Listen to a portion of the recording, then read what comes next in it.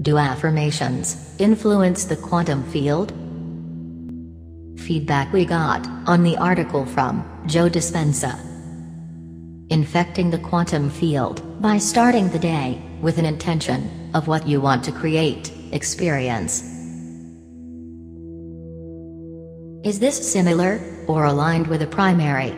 A primary is single specific of what you want to create, Where is the method of how he creates his day seems less specific.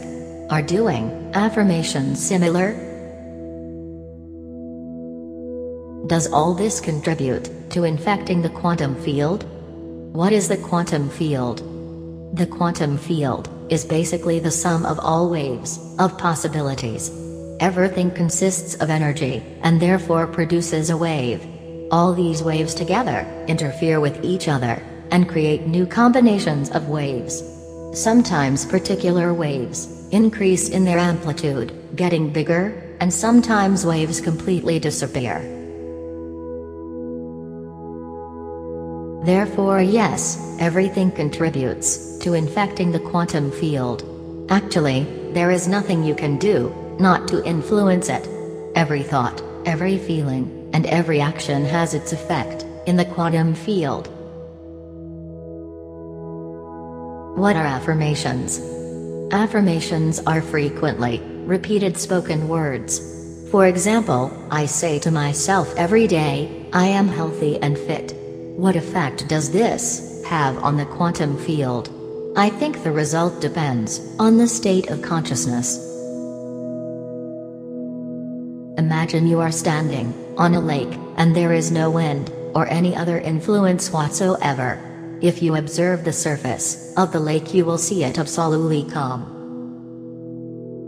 Then throw in a small stone, and you will see the waves it creates. If you look closely, you could see the waves spreading out over the complete lake. Now imagine that the lake is filled with hundreds of boats, there is wind, and you threw the same stone into it. Can you even recognize the ripple it makes? Probably the same is going on in your consciousness. If you have too many thoughts, feelings, and other things going on the extra little wave you create will immediately disappear. What is a creation? In quantum physics terms, a creation is the collapse of a wave function into a particle. Out of infinite possibilities, you are focusing on one single wave and this wave is collapsing into a particle, and appears therefore in space and time. Consciousness creates a subject and an object at the same time. It is the birth of duality. As you can see on one level, you create, and on the other level, you just observe something that was always present as a possibility. However, the domain in which you create depends again on the state of consciousness you're in. What is attention, intention and focus? Attention roots, in the Greek word, attendir which means towards something. You could compare this, to a radio. You tune in on one channel, on one frequency. There are all frequencies, simultaneously present, but using your attention selects one frequency out of many. In quantum physics, attention is the observer. That means your attention already collapses the wave function of possibilities and creates reality. Intention refers to one's motivation, it in no way implies force or involving your will in the outcome. Two important variables are attention and attitude. Focus refers to be fully engaging in the present moment.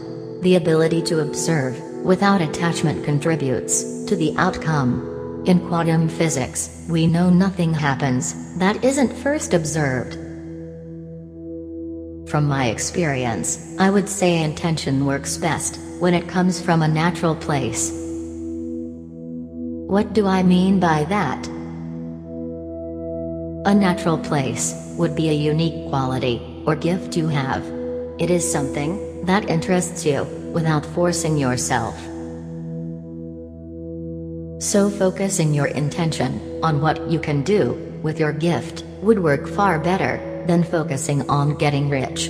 There is nothing wrong with getting rich, of course, but for most of us, this intention would come more from fear and not having enough. Therefore, it would be driven by force and not by power. Power is natural, force is artificial. Power is always there, force needs to be created, constantly to be effective.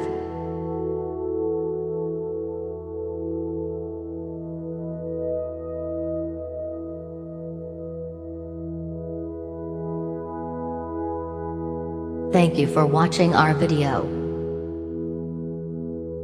Please like and subscribe.